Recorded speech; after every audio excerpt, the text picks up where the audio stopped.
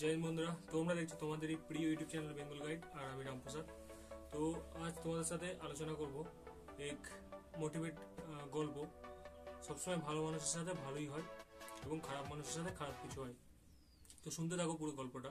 এটা আমাদের একটা ওস্তাদ সবসময় শোনাতো এই মোটিভেট গল্পটা। তো একবার ভগবান নারায়ণ এবং তার ভক্ত পৃথিবীতে পরিদর্শন করতে এসেছিল।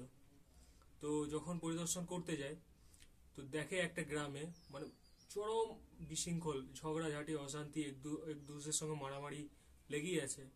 তো যখন ভক্ত এবং ভগবান নারায়ণ একসাথে যাচ্ছে, তো ভগবান নারায়ণ সেই গ্রামটা দেখে মন্তব্য করল যে এই গ্রামটা যেন এইরকমই থাকে, এ যেন বাইরে না যায়।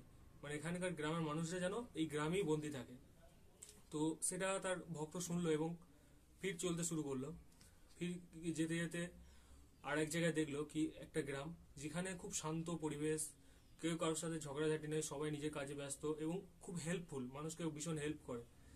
তো তখন ভগবান নারায়ণ ভক্তকে বলল যে, এই গ্রামটা যেন ধ্বংস হয়ে যায়। মানে এই গ্রামের মানুষরা যেন গোটা পৃথিবীতে ছড়িয়ে যায়। এই গ্রামটা যেন না থাকে। তখন তার ভক্ত বলল নারায়ণকে যে, ভগবান, আপনি ওই গ্রামটা মানে যেটা বেশি ঝগড়াঝাটি, সেই গ্রামটা বললে যে এই গ্রামটা যেন এরকমই থাকে, আর এত সুন্দর একটা পরিবেশ এত একটা ভালো গ্রাম, এটা কেন ধ্বংস হয়ে যাবে?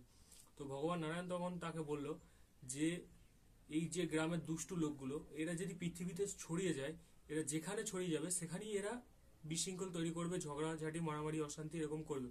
কিন্তু এই যে ভালো গ্রামের লোকগুলো, এরা যদি কখনো গোটা পৃথিবীতে ছড়িয়ে যায়, তো এরা যেখানেই যাবে, সেখানেই ভালো কিছু করবে এবং তার পাশাপাশি অনেক ভালো মানুষও তৈরি করবে। তো দেখো, গল্পটা আমাকে, আমার ওস্তাদ সবসময় বলতো যে ভালো মানুষের সঙ্গে ভালো কিছুই হয়। তো যারা ভালো মানুষ, তাদের সঙ্গে ভালো কিছুই হবে। তো গল্পটা এইটুকুই। যদি ভালো লাগে অবশ্যই একটা লাইক করো আর কারোর সাথে শেয়ার করে দিও। ভালো থেকো, সুস্থ থেকো এবং পরবর্তী আপডেটের জন্য অবশ্যই যোগ রেখো।